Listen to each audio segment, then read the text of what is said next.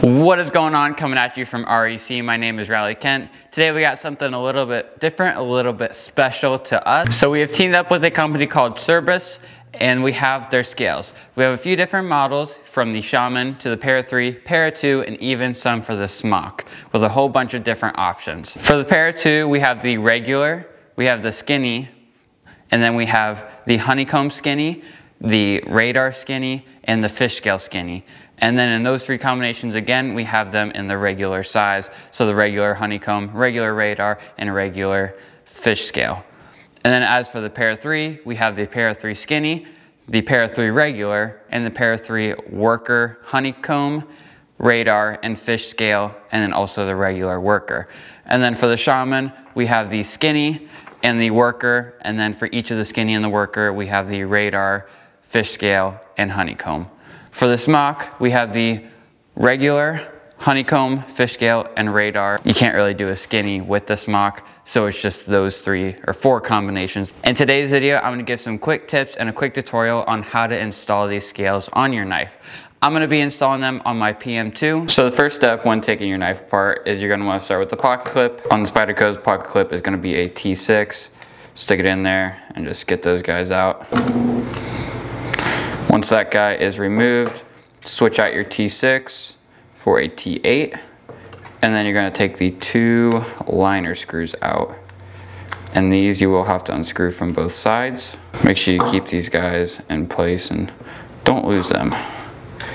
And then get the ones up here near the pivot. After you've got those four guys out, switch your T8 out for a T10. Then you'll go ahead and take that pivot screw off. After you've removed those, your scales should pop off pretty easily. Make sure you don't lose any parts. You're gonna wanna keep these back spacers in line, maybe set them next to the screws that they go with, and then also make sure you grab the two bronze washers. Keep those with the knife. Before pulling the lanyard loop out, you can go ahead and pop the scales out. By doing that, go where the pressure lock is and run your finger back and have it pop out but try not to bend where the pressure lock is.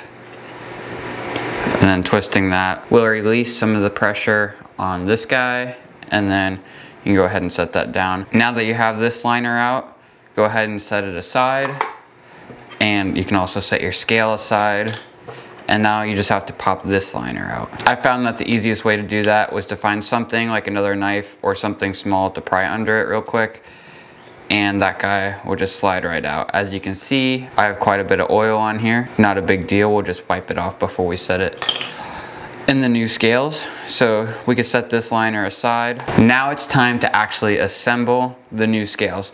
So over here on this side, we have four different options. And these are not all the options, there's actually eight different options. So these are just the regular PM2 scale the honeycomb, the radar, and the fish scale. Now there's all of these same variations, but in the skinny model. I'm gonna go ahead and do the fish scale one because that one's my favorite. So just a little quick unboxing when cracking these guys open. It'll come with a cool business card. Chris Ordus is the owner and founder. And then inside here, in the little baggie, you'll have your two micarta scales, all of our scales are going to be in that OD green, but it's actually a super cool color. Almost has that goldish look. But once your oils from your hand and water gets on it, the colors will start to change and become just a little bit darker. So setting these guys down, putting the box aside, the first step is to put these liners back in. Before I do that, I'm gonna go ahead and wipe them off though, just to get any of the dirt or oils off of them before putting them into the new scales. So find the scale that has the pressure lock in it. How you'll identify that is that it'll have this groove cut out so that the lock can go in. Then you'll grab the liner that has the pressure lock in it and it'll just go ahead and set it in like that. Next, we'll put the other guy in and just set it in. So the first step when reassembling everything is I like to put this little lanyard loop back, go ahead and stick it in the rear part of the knife. After you get that guy into the rear, what I like to do is put one of the spacers in and then put one screw to hold it there, like this. You'll grab your T8 to screw it in. Don't tighten it all the way, just get it there enough to hold it in place. Then you'll go ahead and do the other one The next step after that is grab one of your washers. Make sure that it's all wiped off from any debris or oils and go ahead and set it down right near the pivot.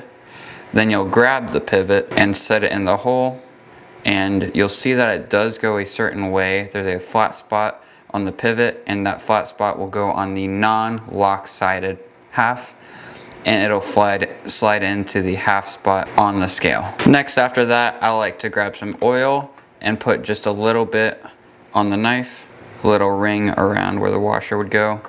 And then you'll put the knife through the pivot onto the scale and then do another ring of oil. Then after that, you'll slide the second washer on. Once that washer is on, you can go ahead and get ready to put your second half on, your lock side. Just get everything lined up. I'm gonna do the pivot first. So set the pivot, screw in. Grab your T10 and screw it in, but do not tighten it. Then swap that out for your T8. So you can go ahead and put these guys in, the liner screws. Again, don't tighten, just get them in there. And then before you get too far, make sure you throw that second pivot screw in. Don't snug it, just get it loosely there. At this point, you can begin to tighten up your liner screws. And then once you get everything snugged down, sometimes you'll need two Torx pieces to do one on each side if these screws were slipping because it is going through into the same place. Once you have these two screws tightened down, you can go ahead and adjust the pivot. So you don't want it to wobble when it's out but you don't want it to be too stiff. So you'll grab your T10, get into the pivot and gently snug both sides down. Try to get them as even as possible and then see how it flips. This one's not too bad, so then check the blade play. There's quite a bit of blade play in it. Go ahead and tighten them down just a little bit more on each side. Check the blade play, still quite a bit there. We'll tighten it a little bit more. Now the knife is pretty snug, still flips really good. And then that's pretty much about it. So you got these two snug down and then the pivot screw you have to play with. Try to get them as even as possible to the point where there's no blade play and it still shuts nice and smooth. You can always add just a little bit of oil into there to add to it. Work that in a little bit. The last and final step is putting the pocket clip back on. But these scales do only offer the tip up option, which is not a big deal for me unless you're a tip down kind of guy but I like them tip up. Sometimes I feel like the pocket clip is the hardest thing to get back in just because of how small these screws are and how finicky they can be. Make sure you don't over tighten these screws because they can have a chance of stripping out. Once you have your pocket clip in, your knife is officially done. Got these scales on them. They look super, super sick. The texturing is awesome, makes them so grippy. Having the micarta mixed with the fish scale milled out on it so grippy. It doesn't feel like this knife is gonna go anywhere on you. There is also the skinny version of the regular fish scale, honeycomb and radar. I'm not a big fan of the skinny. I like having that little swoop there.